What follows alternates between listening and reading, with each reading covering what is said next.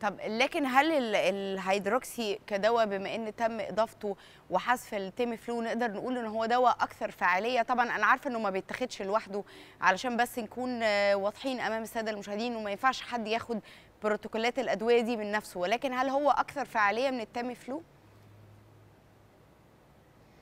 هو حضرتك فعلا ثبت في الفترة اللي فاتت مع تجربة الأدوية إن هو كان أثبت نتيجة أكتر من ال Tamiflu آه، وخصوصا في الحالات البسيطة والمتوسطة كانت نسبة الاستجابة فيه عالية جدا وكانت نسب الشفاء الحمد لله عندنا كويسة جدا باستعمال الدواء ده.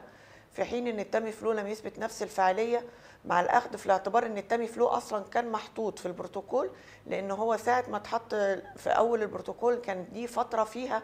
نوع من ال overlap ما بين آه، فيروس الكورونا وفيروس H 1 N 1 فال Tamiflu زي ما هو معروف هو دواء ل H 1 N 1 ملي فكانت الفترة دي ما بنبقاش عارفين أو مش قادرين نفرق قوي المريض ده هل ممكن عنده كورونا بس عنده H 1 N 1 أو عنده الاثنين مع بعض ممكن يبقوا الاثنين مصاب مصاب بالفيروسين.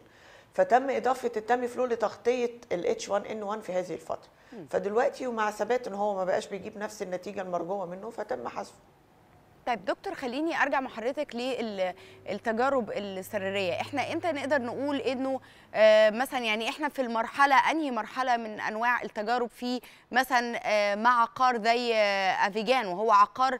اثبت فعالية في دول أخرى وجايب نتائج جيدة جدا يعني على حد ما متاح لينا من معلومات. فإمتى إحنا نقدر نقول إنه مصر قربت على الانتهاء من هذه التجارب وربما يكون هناك تحديث آخر لبروتوكول العلاج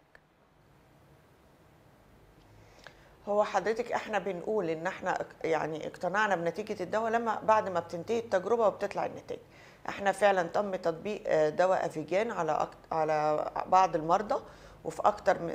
من مستشفى زي ما قلت لحضرتك وإحنا دلوقتي في انتظار تجميع الإحصائيات للنتائج ديت لدراسة مدى جدوى استخدام ال- الدواء وإن كان ليه أي مضاعفات أو